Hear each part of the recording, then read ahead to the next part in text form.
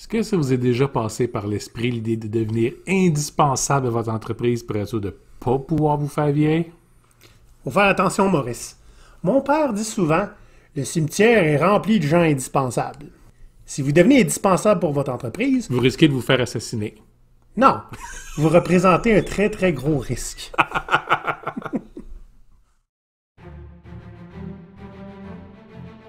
Maurice et Olivier, vos deux pirates barbus, étaient étonnés d'entendre. Tu sais, petit gars, quand toute l'information passe par toi, tu sais que t'es devenu indispensable. À l'abordage, ils se sont mutinés contre l'indispensabilité individuelle en créant des pirates partout. Voici leur histoire. Maurice, je te trouve un peu indispensable pour vos pirates. Bon, ok, d'abord, je vais m'en aller chez nous. hey, je suis rendu! Salut les pirates, j'espère que ça va bien. Bienvenue dans l'épisode 47 de GoPirate. 48? Mon Dieu, ça sent déjà. Ouais. Il faut qu'on fasse quelque chose pour le 50e. On a besoin d'avoir vos opinions là-dessus. Écrivez-nous ça, puis le plus rapidement possible, parce que le temps que vous voyez à cet épisode-ci, on va être rendu à enregistrer le 50e. Oui, oui. Donc, 48e épisode, puis c'est finalement maintenant qu'on décide de parler de devenir indispensable, de la mauvaise idée de devenir indispensable. Parce que c'est un sujet que je pense que on commençait à aborder, toi puis moi, ça faisait quelques semaines qu'on travaillait ensemble. Ouais, ça fait longtemps. Ça fait très longtemps. On était jeunes. On était jeunes, on était fous, voilà. Mais avant, hein, c'est indispensable qu'on vous fasse passer le message suivant. Si vous nous regardez sur YouTube, là, vous, cliquez sur like, puis cliquez sur la petite cloche pour avoir des notifications quand on sort une nouvelle vidéo. Pour le podcast, vous êtes probablement capable de vous abonner, peu importe la plateforme sur laquelle vous nous écoutez. Puis si ça donne que c'est sur Podchaser ou Apple Podcast, vous êtes même capable de nous laisser une petite review. Oui, C'est indispensable pour nous. Oui, parce que c'est ça qui nous aide à nous faire découvrir par du nouveau public. Ouais. Et vous voulez être plus nombreux, comme ça les gens vont commencer à vous prendre au sérieux. Oui, puis on va vous remercier d'avance là-dessus. Maurice, là, euh, on n'invente rien. C'est la plupart des gens, je te dirais, qui ont des salariés qui se sont dit si je deviens indispensable, ils peuvent pas me virer. Et nous, on trouve que c'est dangereux. Oui. Parce que c'est pas juste dan- dangereux pour vous, en fait, vous allez vous protéger un peu. Ça devient dangereux pour toute l'organisation dans laquelle vous faites partie. Puis écoutez, si c'est vous contre eux autres, en partant, c'est probablement pas un bon endroit pour vous. Ouais, s'il faut que tu te protèges de la sorte, il faut peut-être que tu te poses des questions sur la relation que tu as avec ton employeur en ce moment. Maintenant, on peut comprendre la réaction quand vous réalisez que, en fait, dans votre poste, vous apportez aucune valeur à l'organisation, puis qu'un jour, quelqu'un va s'en apercevoir. Tu vas-tu nous plugger l'épisode sur Bullshit Jobs, Maurice? Je vais vous plugger deux épisodes, celui sur Bullshit Job, puis celui qu'on a fait il n'y a pas tellement longtemps, Ouais. sur la bureaucratie. Puis euh, ben, moi, je t'en plug un troisième parce qu'on a fait un deuxième épisode sur Bullshit Job. Quoi faire si j'ai une Bullshit Job? Hmm. On a des numéros d'épisodes aussi pour vous, mais on n'a pas été les regarder parce qu'on est trop paresseux, fait que vous allez devoir fouiller un petit peu. Voilà. Donc, on va regarder comment quelqu'un finit par se rendre indispensable. C'est pas tout le temps volontaire, puis c'est pas tout le temps euh, machiavélique non plus. Non. OK? Puis on va regarder qu'est-ce qu'un pirate? Hein, un pirate, les pirates qu'on forme, nous, sont pas indispensables. Ça veut pas dire qu'on peut les mettre dehors quand on veut. Bien Je au veux dire qu'on ne veut pas les mettre dehors. Voilà. Donc, on va voir, comme contrairement à l'indispensable, qu'est-ce qu'un pirate ferait.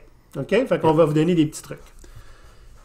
Commençons avec celui que c'est pas volontaire. Ou encore, comment on dirait, c'est gentiment volontaire. C'est pas voulu. Le gars veut pas se rendre indispensable. Je sais pas si t'as déjà vu ça dans les entreprises, Maurice. Oui, c'est, ça arrive par accident. Ça Ouais. arrive parce qu'on est le seul à s'occuper de quelque chose que personne n'a envie de s'occuper, puis soudainement, ben, on en a besoin, puis c'est la seule personne capable de faire le travail. C'est ça. Puis on veut pas former les autres parce que ben, ça coûte de l'argent. Fait que la personne qui se ramasse à être la seule à connaître un système ou un dossier ou un client euh, est un risque. Pourquoi est un risque? Ben d'abord, elle est tout seule. Fait que si elle décide de s'en aller, si elle attrape une maladie grave, Ou s'il passe un autobus, oui, ou si elle gagne le 3 milliards de dollars puis prend sa retraite probablement positif, puis mieux pour cette personne Oui. avec l'autobus. euh, ben ça met immédiatement non seulement son équipe, son patron, mais aussi l'organisation au complet en danger. Mhm. Et euh, ça, ça arrive qu'il y a des entreprises qui s'en rendent compte. Puis souvent, il y a pas beaucoup de solutions possibles. On se débarrasse du système désuet et donc peut-être de la personne qui est indispensable. Ou on se réveille, on prend acte, on en forme d'autres pour qu'il y ait une forme de redondance. Mhm. Tout dépendant dans quelle entreprise vous travaillez, ça va aller d'un bord ou de l'autre. Si vous êtes chanceux, il va peut-être avoir une forme de redondance. Mais ça n'arrive pas tout le temps. Très souvent, j'ai vu, le plus tôt possible, on essaie de se débarrasser du système des UX, ce qui n'est pas une mauvaise chose. Ça ne veut pas dire que l'employé n'est pas bon. À un moment donné, un système des UX, ça coûte cher. Donc, donc cette personne-là qui accepte de s'occuper des vieux dossiers, puis qui est la seule à pouvoir le faire, se met dans une situation qui est très risquée parce que le jour où l'entreprise va s'en rendre compte, elle va devoir trancher. Yep. Puis ça va être difficile. Ça va être difficile, mais éventuellement, ça va arriver. Ouais. Si c'est votre cas, vous vous en apercevez, qu'est-ce que vous pouvez faire? Ben, premièrement, c'est bon de signaler la situation. Oui, ça vous enlève votre immunité. Ouais. Mais d'un autre côté, ça montre que, un, vous êtes honnête, puis que deux, ben, proposez-vous pour amener le, le changement? Soit étudier comment faire la transition avec, avec un système Ouais. plus, plus moderne vous-même, ou soit offrir de former quelqu'un d'autre avec ça. Tu sais, prenez charge, montrez que vous êtes le genre de matériel, le genre de personne que tu veux avoir au sein de l'organisation.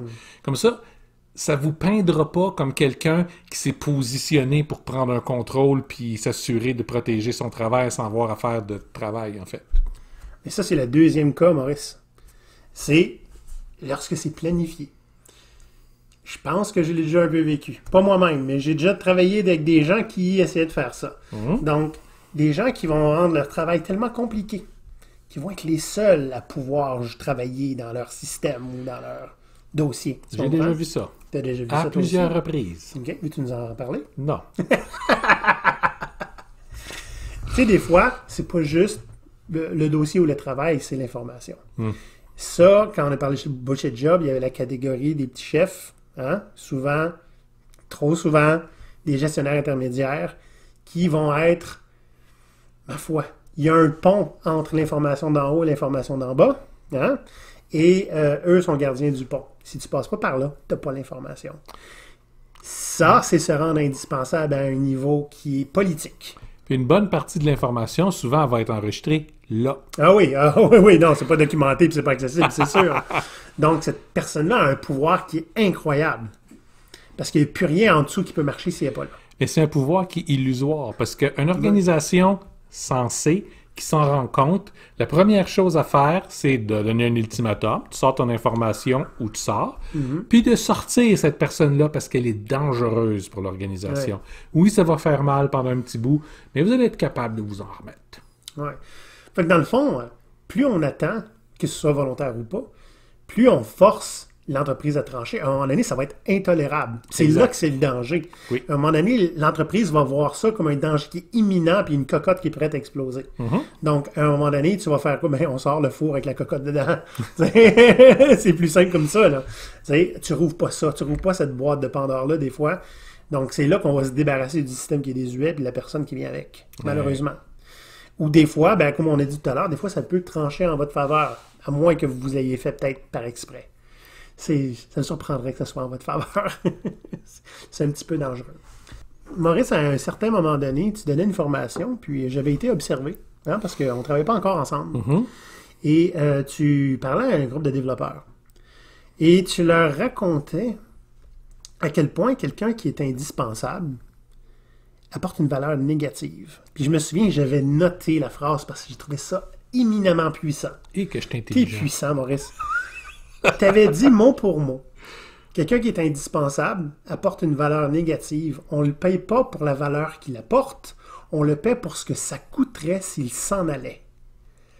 Ouch! Ça vous tente-tu vraiment qu'on vous paye à cause des dommages que ça coûterait si vous vous en alliez?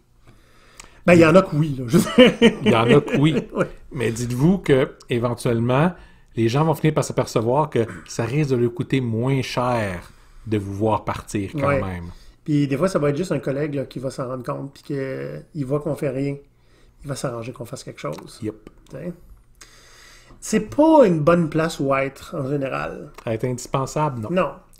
Mais il y a moyen d'être autre chose. Plus positif. Moi, dans un article que j'ai écrit dans le passé, je disais devenir essentiel. OK? Moi, j'utiliserais le terme être désiré. Oui. C'est cute, hein? Oui. Puis, pourquoi, pourquoi essentiel? Pourquoi désiré? OK? Puis, qu'est-ce que ça fait de différent qu'un indispensable? Je vais donner le meilleur exemple que j'ai eu. La dernière entreprise, j'ai été salarié. Mhm. OK, on va la nommer, elle s'appelle Marine Presse. Euh, Là-bas, il y avait un, un gars, ça faisait. Écoute, il était là depuis plus longtemps que l'entreprise. C'est-à-dire qu'il travaillait pour l'entreprise ce qu'elle était avant, qui a été racheté avec lui dedans. OK? Fait que puis là, fait elle partie était- des meubles. il fait partie des, des meubles et le tapis, OK? Ce gars-là, euh, je pense pas qu'il nous écoute, mais j'y enverrai, hein? Il se reconnaîtra. J'y enverrai l'épisode. Euh, lui, c'est ben, évidemment, il en connaissait plus que le vice-président. Tu comprends-tu? Puis que le président? Ça fait 25 ans qu'il est là, il connaît tous les rouages, tout, tout ce qui vient avec. C'était le premier gars à qui on t'envoyait quand tu étais embauché. Lui, il te racontait l'historique de l'entreprise, tous les mauvais coups qu'il y avait eu, les bons coups, etc. Puis c'est garanti, c'est un problème, c'est JP que tu vas voir. C'est lui que tu vas voir. Puis le gars, il pouvait passer une demi-journée à t'expliquer, genre, pour que tu n'aies pas besoin de le revoir pour ça. Parce que, il veut. ben, pas qu'il t'aime pas. L'idée, c'est qu'il fait tellement avec, souvent avec des gens que ça prend beaucoup de son temps, puis il veut que tu sois autonome, le gars. OK? Un gars comme ce, ce collègue-là, la compagnie coule. Je te garantis qu'il est là pour reconstruire. Puis ça va être la fondation de la reconstruction. Tu comprends-tu? Ouais, ouais. Et ça, c'est un exemple là, parfait d'un gars qui est essentiel. Le gars, il donne tellement d'informations aux autres que lui-même, éventuellement, peut être inutile complètement. Là, je veux dire. Tu comprends-tu? Puis même si c'est pas le cas, la compagnie va le garder parce que c'est un pilier de cette entreprise-là. Il va donner de la valeur constamment. Je veux dire, si on voulait calculer sa valeur négative, elle serait tellement énorme que lui, ça vaut la peine de le garder. Mais comme il en crée du positif aussi, qui aide à monter la prochaine génération, qui facilite le travail dans l'entreprise, à ce Ouais. moment-là, ce gars-là a une valeur énorme. Absolument. Puis euh, c'est- pas pour rien qu'il est là depuis 25 ans. C'est pas parce qu'il est indispensable, même si on le voit comme indispensable, dans le sens que qu'est-ce qu'on ferait sans lui? Mais c'est parce qu'il est pas indispensable, il est essentiel. C'est pas un danger, ce gars-là, au contraire. Tu comprends-tu? Puis, ben, il n'y a pas juste des gars comme lui, là, qui, qui font autre chose, puis qui veulent faire du positif, puis qui veulent pas nuire à l'entreprise volontairement. OK? Les pirates qu'on crée, puis qu'on forme, nous, on les enseigne à faire ça. Exact. Ces pirates-là, un bon pirate, hein, c'est quelqu'un qui est altruiste par défaut. Tu essaies de faire ce que tu dois faire parce qu'il faut le faire. Pas juste parce qu'on te l'a demandé. Pour ceux qui ont, qui ont vu notre épisode sur les types de leadership, Oui. le pirate de base, en partant, va au moins être un, un, un everyman leader, un, Ouais. Un leader au quotidien qu'on avait tellement dit. pas ça. Je le sais, mais on ne repartira pas là-dessus. un leader au quotidien. Donc, quelqu'un qui va être en. Qui, qui, qui va prendre le temps d'aider les autres, qui va prendre le temps de supporter les, les gens qui arrivent, qui va agir comme mentor pour ces gens-là. Tous les pirates qu'on forme, c'est la première des choses qu'ils apprennent à faire. Vous ramassez pas l'information pour vous autres, vous la partagez entre tout le monde parce que vous êtes une équipe, vous êtes une entité de groupe. Puis si l'information est bonne pour vous, elle est bonne pour les autres aussi. À Exact. moins, évidemment, qu'on vous ait expressément dit que c'était confidentiel. On s'entend.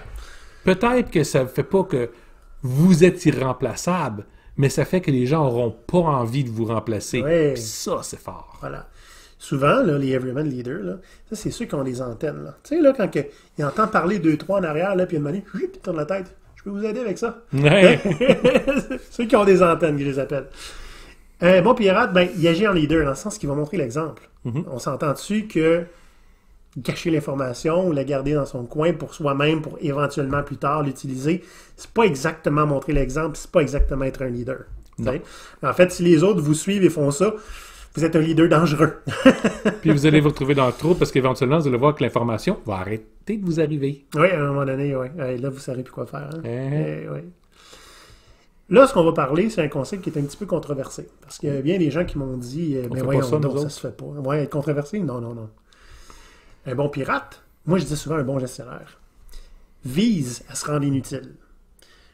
Je dirais pas que c'est facile à faire, honnêtement, dans le sens qu'il y a tout le temps quelque chose de nouveau où tu vas être utile. OK? Oui. Donc, on, on finit pas, malheureusement, sur le spa, euh, sur le toit, à boire des margaritas à journée longue. OK? Si vous avez un spa sur le toit. Moi, j'ai jamais travaillé une place qui avait ça. Vous êtes capable de le faire 7 heures sur 8 par jour, par exemple? C'est pas si pire. Mais l'idée est d'avoir, d'être tellement bon à, un, transférer l'information, aider les gens, faire en sorte qu'ils développent leur autonomie, qu'éventuellement, ils n'ont pas besoin de toi, puis c'est pour ça qu'ils vont te garder. Parce que tu peux faire ça avec tout le monde autour. Exact. Tous les nouveaux. tous ceux qui sont transférés, tous les clients qui ont besoin d'une information que, tu sais, des fois, c'est Ah, mais c'est parce que ça fait quatre gars qui partent depuis ce temps-là. Mais lui, il le sait. Ça, tu sais, dans le fond, tu vises un peu à te rendre inutile dans le sens que tu veux pas volontairement être nécessaire à quelque chose pour que l'entreprise fonctionne. Tu veux que ça se fasse tout seul. C'était notre attitude en tant que coach qui explique Ouais. aussi pourquoi on a toujours été des coachs relativement pauvres. C'est que notre but est de, aussi rapidement que possible, avoir des équipes, puis des groupes, puis des gestionnaires de, de transformation qui sont autonomes, Ouais. qui ont plus besoin de nous pour, pour opérer. Ça veut pas dire qu'ils vont se débarrasser de nous. Ça veut pas dire qu'ils nous rappelleront pas. Ça veut juste dire que ils sont pas pris avec nous. Il n'y a Ouais. pas de ressentiment qui, qui va se créer. On leur donne des super pouvoirs.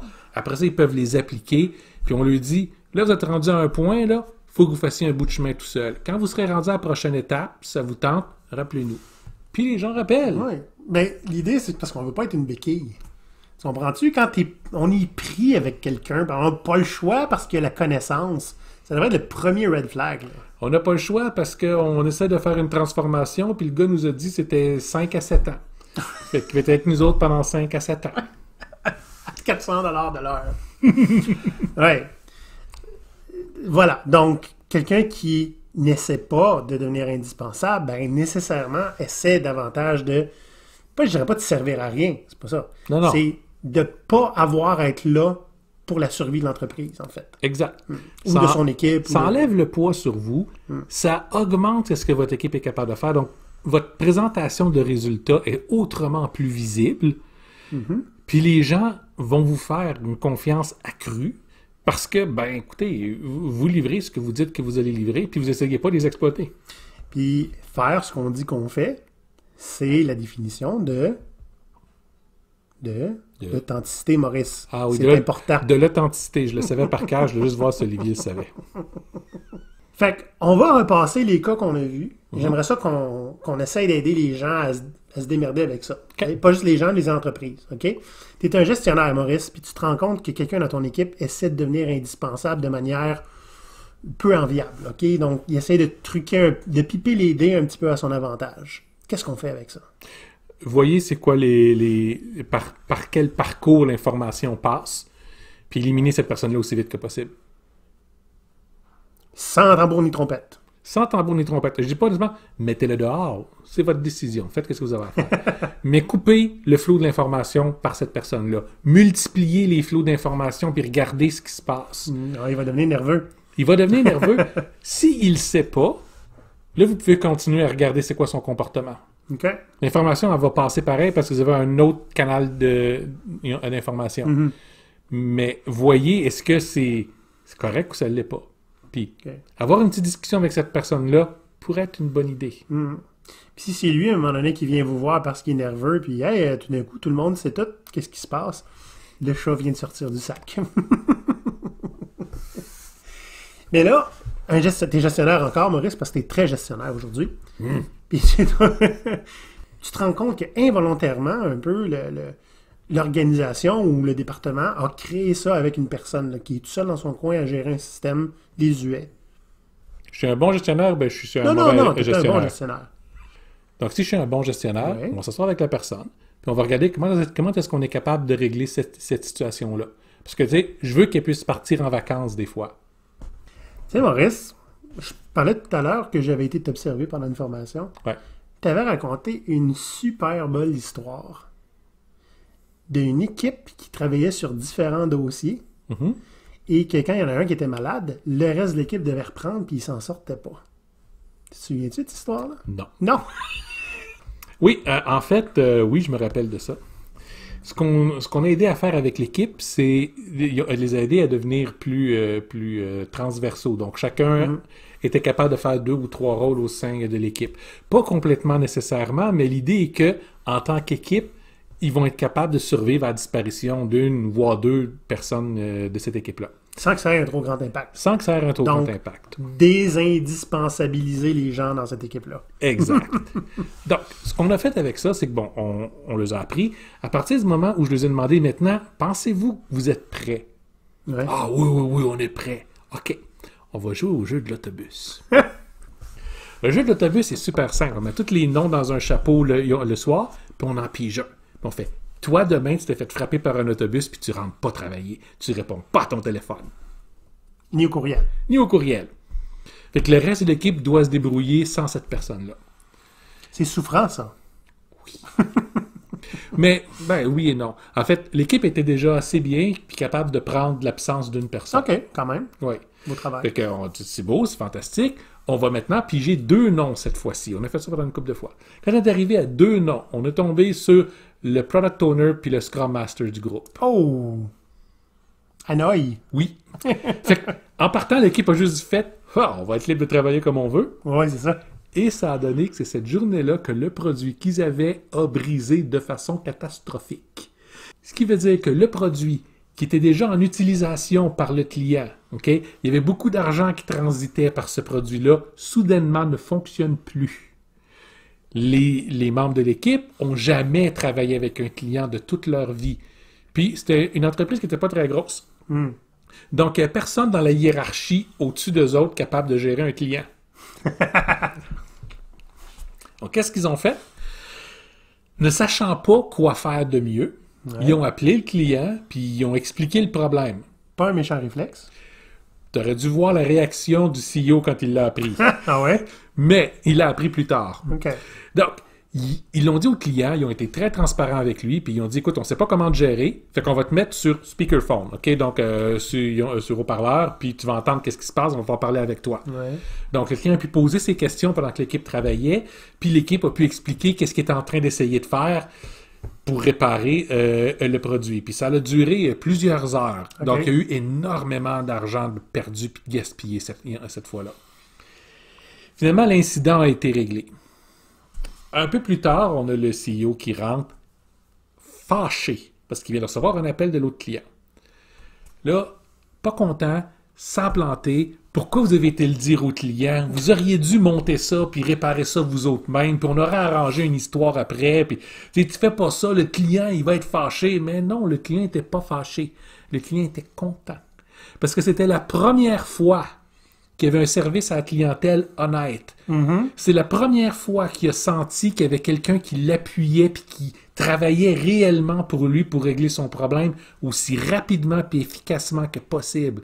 Puis à chaque fois que l'équipe essayait quelque chose puis ça fonctionnait pas, lui avait confiance que c'était vrai. Donc il a établi une véritable confiance avec l'équipe.